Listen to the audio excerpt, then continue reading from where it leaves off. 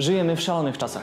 Dwie trzecie ludności na świecie, a więc około 5 miliardów ludzi posiada smartfona. Statystycznie w ciągu swojego życia możemy mieć od 30 do 40 telefonów. Sam mam już dziesiątego i chyba pora na kolejny. Od momentu, kiedy zacząłeś oglądać to wideo, na świecie wyprodukowano około 75 samochodów w tempie 2,5 samochodu na sekundę. 29 lipca 2019 wykorzystaliśmy jako ludzkość zasoby, które Ziemia jest w stanie wyprodukować przez cały rok. 5 miesięcy przed czasem. Ta data co roku wypada coraz szybciej. Trzeba to powiedzieć jasno, nie jest dobrze. Ale społeczeństwo wreszcie postanowiło coś z tym zrobić. Co w związku z tym wydarzyło się w Rukoli? Czy ekoporuszenie to dla nas tylko okazja do polepszenia opinii i podwyższenia wyników sprzedaży, czy może przestrzeń na realną, dobrą zmianę? Zobaczmy. Nasz kurier codziennie dostarcza catering do około 50 klientów.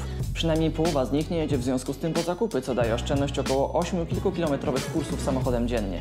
Mówimy tylko o jednym z wielu naszych kurierów. Z cateringiem dietetycznym przestajesz marnować jedzenie. Ty zamawiasz dokładnie taką kaloryczność, jaką zjesz, a my kupujemy dokładnie tyle produktów, ile wykorzystamy. W skali roku to oszczędność od 100 do 200 kg wyrzucanej żywności na osobę.